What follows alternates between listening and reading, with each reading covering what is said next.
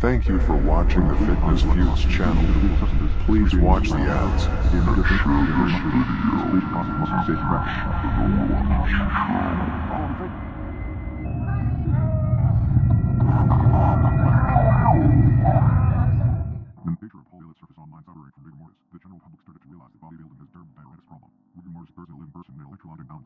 stay contracted. All screamed out in pain. Oh my god, before being carried off the stage like a statue.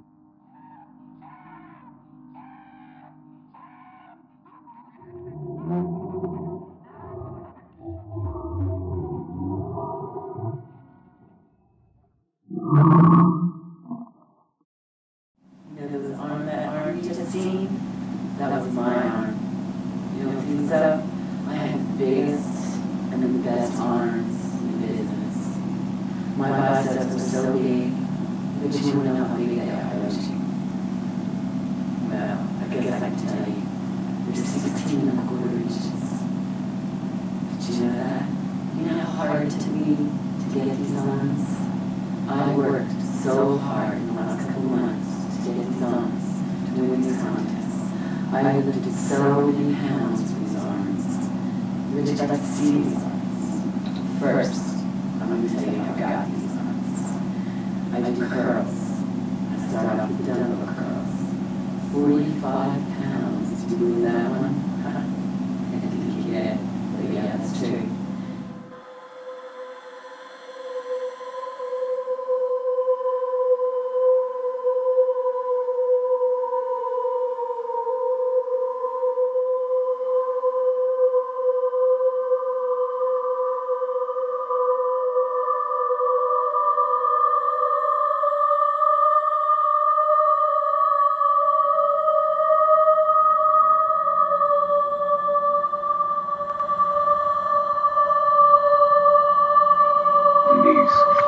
Dino D, was once one of the most gifted bodybuilders of the 1990s.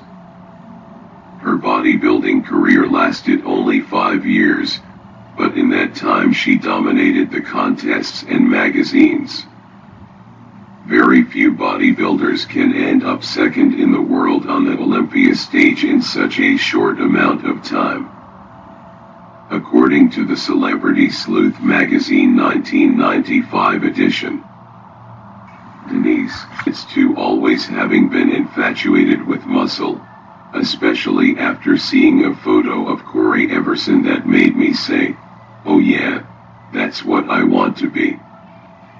After meeting Lone Star Gym proprietor Rappin' Rick Adams in Dallas in 1987, Muscular Development reports, he took a personal interest in the young lady and started her on a hardcore program. Apparently so, since Denise admits that upon moving to Venice Beach, I was working my butt off just to make a little money, and even today maintains a few select clients and manages to keep that extra penny in her pocket through photo sales and guest posings. Before making it, Denise posed for erotic videos and photo sessions. Calling Denise a complete package. Muscle Mag expressed concern at the 1993 USA contest that she wasn't doing enough hardcore poses, but those fears proved groundless. Indeed, since her earlier video tonguing and touching could hardly have been more open. After I peaked in winning the California Championships in 1991, Denise confides, I just couldn't stay hard. You've got to jolt your muscles into a heightened sense of response from time to time. And response is what she's gotten. Landing a role as a very buff but very sexy trainer to Jack Scalia in The Last Paisan, picking up a guy, literally, in a Pepsi commercial, and becoming the poster gal for DHL Air Courier Service. Sadly, Denise has just announced she wants to take a year off from competition until she gets her personal affairs in order.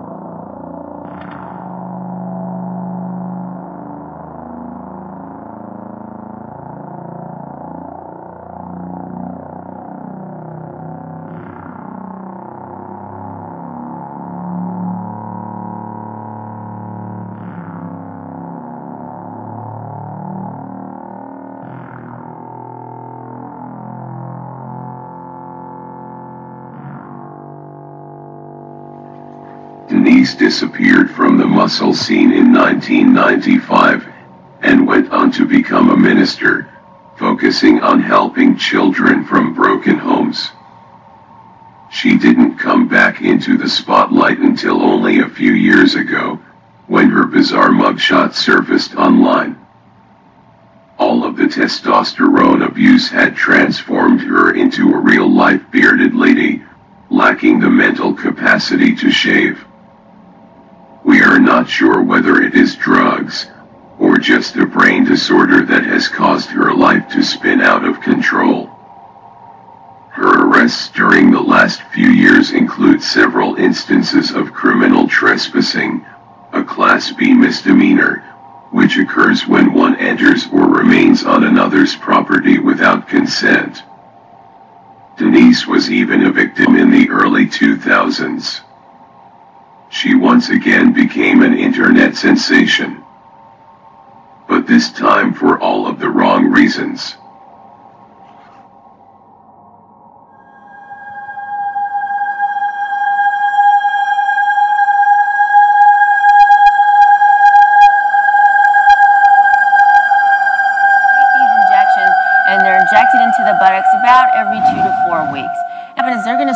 To change those sexual char- characteristics like start to get male pattern hair growth. So you're going to start to get hair growth. It's going to stimulate the hair follicles.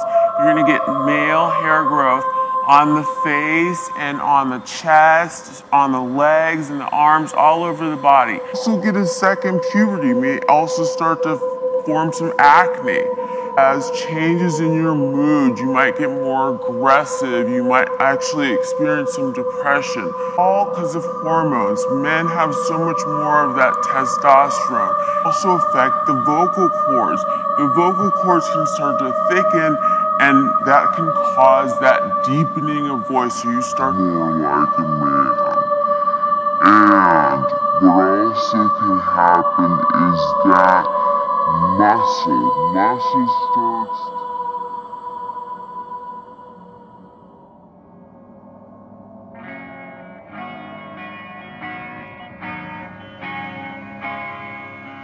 Unlike most of our videos, this one ends with a positive outcome.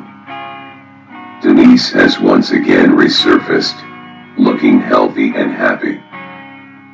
She is continuing her passion for helping children and has somehow survived this grim world of bodybuilding, drugs, and flawed morals.